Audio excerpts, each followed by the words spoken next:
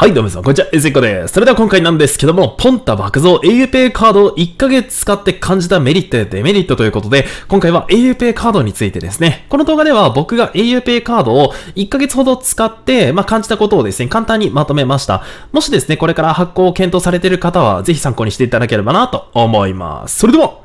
行ってみましょうこちらがね、僕が実際に作成をした auPay のクレジットカードとなっております。まあね、このカードを作成して、約1ヶ月半ぐらい使ってみたんですけども、率直な感想としては、めちゃくちゃ簡単に言うと、良いっていう感じなんですよ。まあ、ちょっとそこの詳細を掘っていく前に、一応ですね、基本スペックのおさらいだけサクッとしてみましょう。こちらが auPay カードの基本的な情報となっております。まず還元率なんですけども、1%還元、100円で1ポイント貯まります。で、こちら貯まるポイントとしてポンタポイントが貯まりまして、年会費は基本的には無料となっております。かっこ条件ありっていう風に書いてるんですけども、まあ理由としたらですね、1年間カードの利用がない場合に関しては、翌年度に関しては、年会費税込み1375円かかりますよということですので、まあそれをクリアすれば、基本的には無料でずっと利用することができると。で、この作成できる年齢に関しては、まあ18歳以上、高校生は除くと。で、発行再発行手数料は基本的には無料ということで、かっこ一部発生ということで、これどういったこととかと言いますと、例えば auPay のゴールドカードを持っていて、それを通常カードにまダウングレードをしたりとか、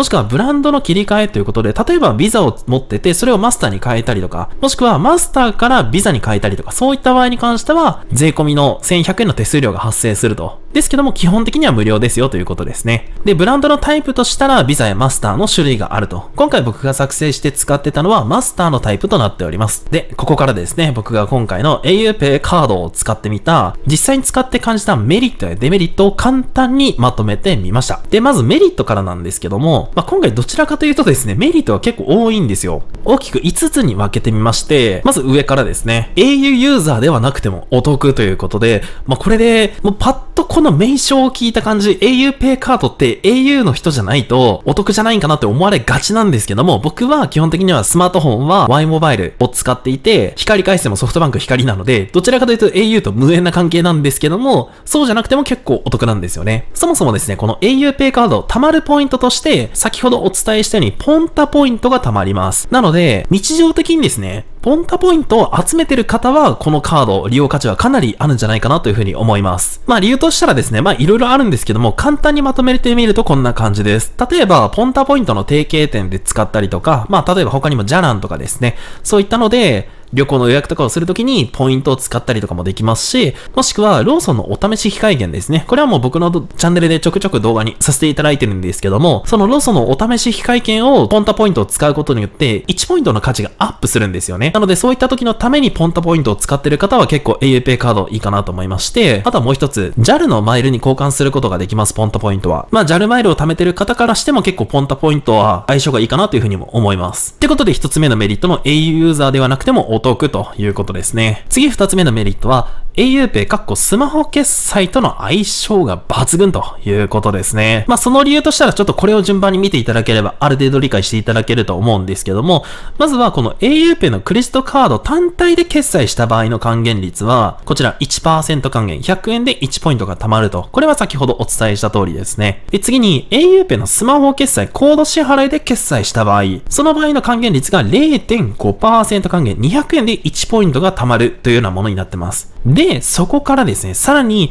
auPay のスマホ決済に auPay のクリストカードでチャージして auPay のコード支払いで決済した場合、この場合の還元率が上2つが合わさるので1.5%還元となります。そうなんですよね。チャージをした段階で1%が貯まるので、もし、どこかのお店が AUP のスマホ決済が使えるっていうのであれば、この方法を行うことができます。で、そこからさらにですね、ポンタの加盟店にて、ポンタカード、ポンタのポイントカードを提示すると、お会計前に。で、そこからさらに AUP カードでチャージをした AUP のスマホ決済で、お会計など決済をした場合、還元率が最大で2.5%まで可能ということですね。この最大で一応2.5%っていう風に書いてはいるんですけども、ポンタポイントの加盟店によってはちょっと還元率がアップしたりとか、そういった場合もあるかもしれないので、さらに還元率をアップした状態で使うこともできるかもしれないです。ちょっと僕はここまで深くはちょっと調べてはないんですけども、もしこのコンボが可能であれば、かなり強力な感じで還元率をアップして、お買い物がお得にできるんじゃないかなという風に思います。ということで2つ目のメリットについてでした。続きまして3つ目ですね。au 平マーケットで最大還元率6%までアップということですね。こちらがその auPay マーケットっていう au が提供する EC サイトですね。まあ、楽天でいう楽天市場みたいなものですね。まあ結構いろんな商品があったりします。で、その auPay マーケットなんですけども、このお買い物特典プログラムっていうのがありまして、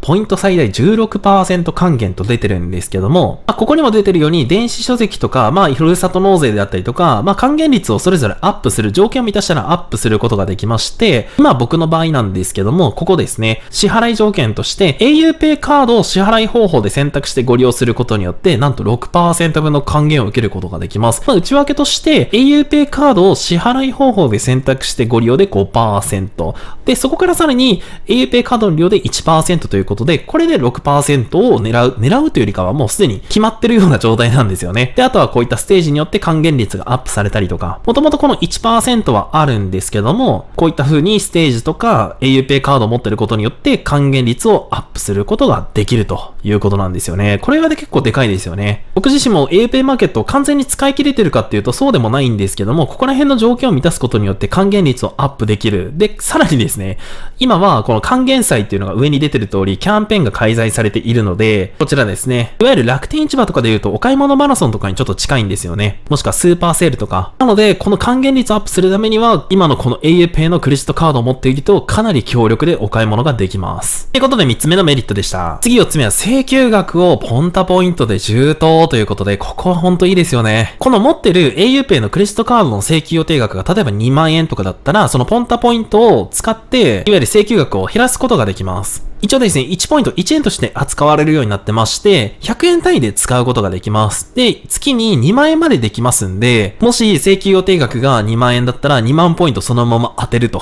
そういったこともできるということになります。まあ、例えば、どんな感じに使えばいいのかっていう、まあ、イメージを湧いていただくために、こちらを見ていただければと思うんですけども、まず、スマホ決済の auPay があると思うんですけども、それに事前に auPay のクレジットカードでチャージをすると。そこからですね、auPay のスマホ決済のキャンペーンに参加します。まあ、ちょくちょくね、10%還元とか20%還元とか、そういったキャンペーンがスマホ決済では結構あったりするので、その auPay のスマホ決済のキャンペーンに参加をします。で、そこでですね、貯まるポイントはポンタポイントが貯まるので、結構いつもより多めにに。そこからさらにですね、auPay のクレジットカードの請求予定額に、その溜まったポンタポイントを当てることによって、かなり効率よくですね、auPay のキャンペーンに参加することもできますし、クレジットカードの分の予定額にも、まあ、充当できるので、僕的にはこの流れが一番おすすめかなと思います。一応ですね、月に2万円までと決まってますんで、それ以上お買い物してももう全然いいんですけども、これぐらいで収まるなら全然それでもいいと思います。ということで4つ目のメリットについてでした。で、最後5つ目のメリットなんですけども、入会特典がかなり美味しいということですね。まあ、それがこちらなんですけども、auPay カードご入会から最大6ヶ月間で特典条件を満たすと、合計最大1万ポンタポイントプレゼントということで、まあ、これについてはですね、以前こちらの動画で紹介をしております新規入会特典について解説をしているので、特典厚すぎということでお伝えしてますんで、ぜひこちらの動画を参考にしていただければと思います。で、さらにですね、AP カードが僕が実際に届いて、この設定はした方がいいというものとか、さらにプラスアルファの情報とかもこの動画でお伝えをしてますんで、まだ見られてない方はですね、こちらの2つの動画ぜひ見ていただければと思います。ということで、ここまでがメリットでして、続きましてデメリットなんですけども、ぶっちゃけですね、auPay カードデメリットあまりないかなと思いまして、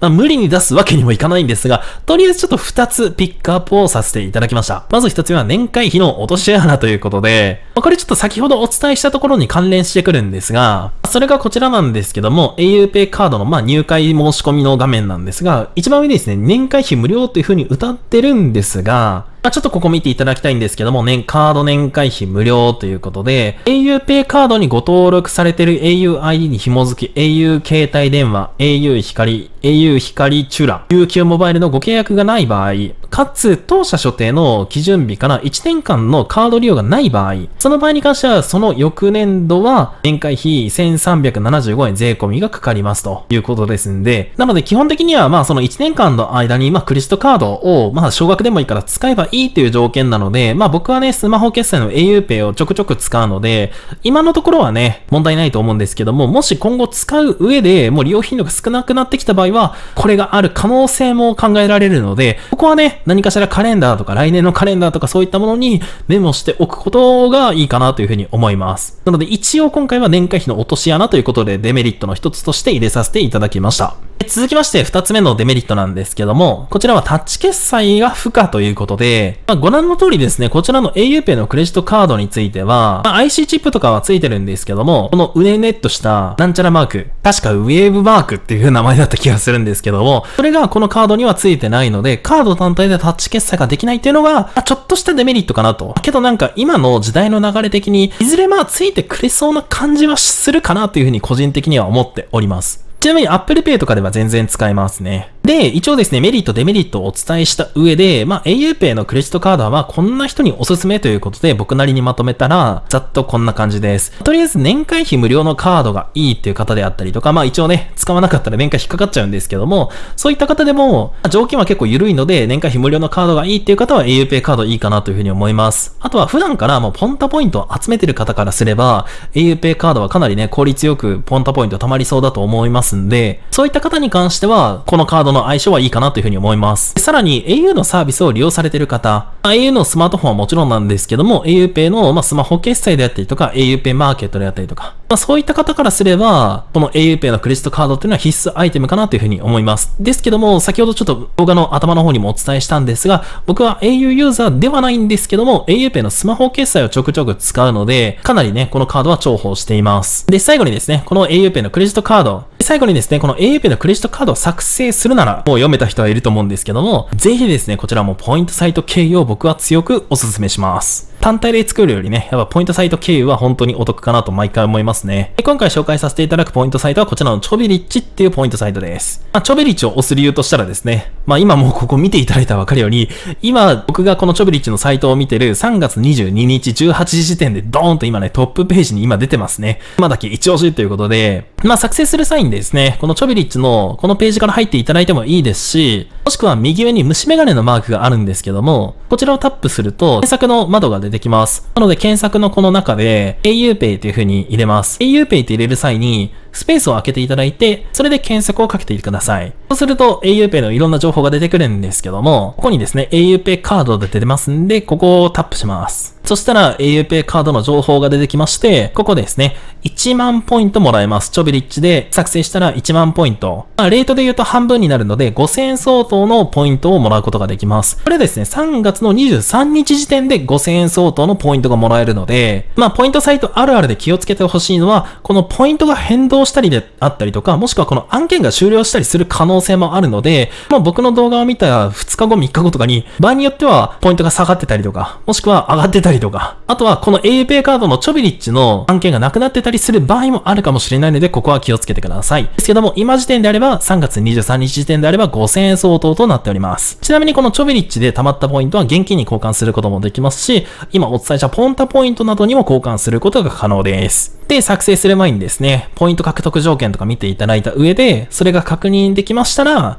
ここのサイトに行くっていうところをタップしていただくと、まあ、今回のね、auPay の入会の情報とかそういったものが出てきますんで、あとはここから普通にカードを申し込んでいただければ大丈夫です。まあそんなこんなで今回は僕が auPay カードを約1ヶ月半ぐらい使った上でのまあメリットやデメリットについてお伝えをさせていただきました。まあ、先ほどもお伝えしたように本当にね、ここ何ヶ月間の間は本当 auPay、スマホ決済の auPay のキャンペーンがかなり熱かったので、まあその時にね、僕もかなり有効活用させせていただきました。まあ今後もね、スマホ決済の auPay はまたちょくちょくね、キャンペーンとかもあったりする可能性もあるので、正直今の段階で作っておいても損はないかなっていうふうに個人的に思っております。もちろん無理に作る必要はないんですけども、もしですね、今回お伝えした内容を踏まえた上で、ちょっと AUPay カード使ってみようかなという方がいらっしゃいましたら、今お伝えしたポイントサイト、チョビリッチがお得ですので、登録がまだの方いらっしゃいましたら概要欄にリンク貼っておきますんで、詳細気になる方はぜひチェックしてみてください。ということで、